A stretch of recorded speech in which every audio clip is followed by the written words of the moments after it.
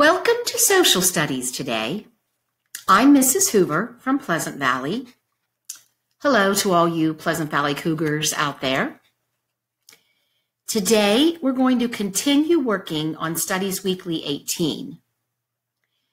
The lesson is on the Pennsylvania wildlife section, and the wildlife we're going to be learning about today is the barred owl. What a pretty animal. I guess a savvy fourth grader is going to realize that that's my opinion because of the clue word pretty. But it is my opinion that the barred owl is a beautiful bird, and I think it has some amazing qualities. But there I go again with more opinions. Anyway, read along silently as we discover some facts while we're reading Studies Weekly 18, PA Wildlife, Barred Owl.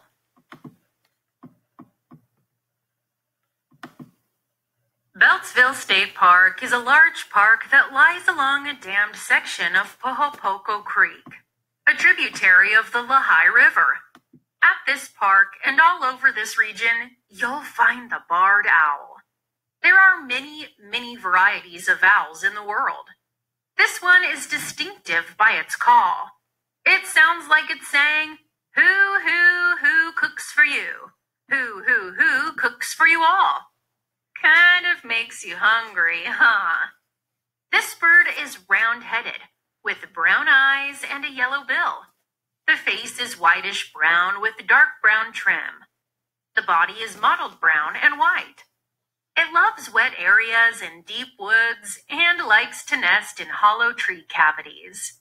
These very gentle birds can often be seen and heard during the day, and you'll find them dining on rodents, small mammals, birds, frogs, and insects. Did you know that if you wanted to see as well as an owl, your eyes would have to be the size of softballs? Well, as you can see from the picture in the article and from the pictures I've put in my lesson, owls do have pretty big eyes. Remember, if humans wanted to see as well as owls, we would have to have eyes the size of softballs or grapefruits. But there is a drawback to having those big eyes. Our eyes are protected by our skull. That's the bones that make up our head. They surround our eyes. If you gently feel your eyebrows, you can feel the hard bones behind them. If you continue to gently feel around your eye, you'll realize that your eyes are surrounded by bones. Owls have those hard bones in their head and around their eyes too.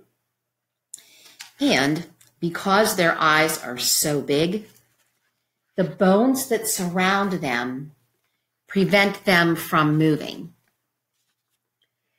And their eyes have more of a rod shape kind of behind, so they can't move their eyes very much, if at all but they can do something that people can't. An owl can turn its head 270 degrees. That's almost like being able to turn their head the whole way around in a circle, but not quite. Not quite. They can do this because they have so many more neck bones than people so they have more ability to move their neck. These big eyes and very movable heads and necks are part of what makes them great hunters. Barred owls hunt at night, only occasionally feeding during the day. Their dark brown colored eyes help them camouflage themselves in the dark. They generally sit somewhere high to hunt, like in a tree, and use their acute sense of sight and sound to hone in on prey. But they can hover over bodies of water, and they will wade into shallow water trying to get themselves a fish or a frog or a crayfish. Another sense they have that is very keen is their sense of hearing.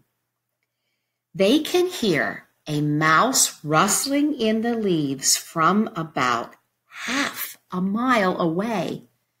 That is pretty incredible. To hear something as quiet as a mouse rustling in leaves from that far of a distance means they have pretty good hearing. They have two ears, just like cats, dogs, people, many other animals, but their ears are hidden by feathers. They have a funnel shaped outer ear that, like we have, that helps sound uh, travel down through our ear canals. But their ears are at different levels on their head. So, what do I mean by that? Well, if you look over here at this particular picture, this is a sketch of an owl skull. And you can see the openings of the nostrils there and the eye sockets. And here are the ear openings. This one on this side is up towards the top of the head. And if you look around at the ear on the other side of an owl's skull, it's down lower, down towards the mouth. So you can see their ears are not evenly set on their head. Now, as people, if we had ears like that, one ear toward the top of our head and the other ear down by our neck, we might think that that would look funny. But it is a good thing for an owl. It helps them hear so well, and it allows them to tell not just what direction a sound is coming from, but whether the sound is coming from a high or a low place, like a tree or the ground. And since barred owls eat mice and rodents that live on the ground, and they also eat other birds or insects that might be in trees, this is a very good physical characteristic for them. And owls are basically silent hunters. And they fly silently. Their feathers are soft and pliable. Unlike most other birds that fly, those birds have more stiff feathers with, with like a straw like structure right down the middle. It's a little bit hard. Owl feathers are softer. And they also have this comb like fringe You can see it right here very well and right here in these pictures. Tried to find pictures where you could see it very easily. They're on the leading edge of their flight feathers, and that allows air to break up as it passes over their wings, which prevents any whistling or flapping noise. And this allows owls to maneuver very quietly through the trees and approach their prey very stealthily. Now, I don't know about you, but I think it's really cool to learn about these beautiful owls that are living in Pennsylvania. And if you liked learning about this owl, you might want to think about becoming an ornithologist when you grow up. That is a person who studies birds, all aspects of their life, and becomes an expert in knowledge about, about them. Well, we're almost done with our lesson. I just want to take a quick minute and let you hear the distinctive call of a barred owl. Listen closely. This is the call only made by a barred owl. Remember, our article said that there are many, many varieties of owls in the world. This one, meaning the barred owl, is distinctive by its call. Now, when I play this little tape, you're going to hear all kinds of birds, but I want you to be focusing on trying to find the distinctive barred owl call. Remember, it sounds like who, who, who cooks for you. All right, let's see if you can pick it out.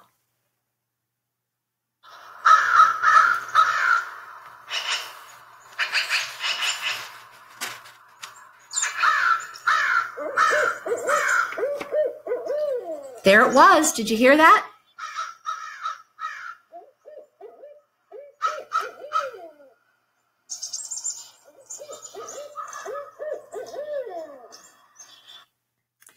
Okay.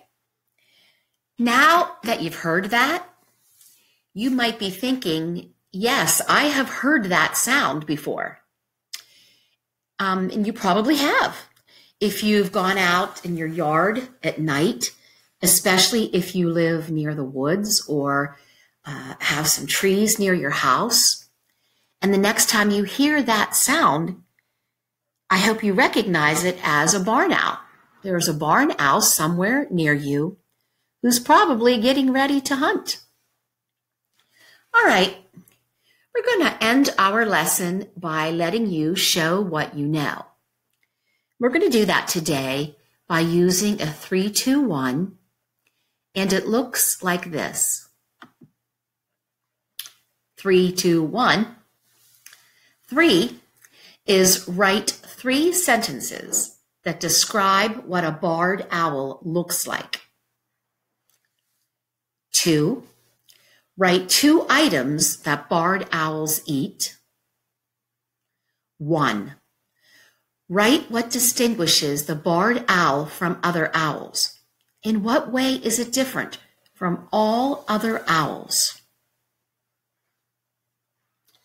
All right, fourth grade, thank you for tuning in today. And I hope you have a pleasant rest of the day.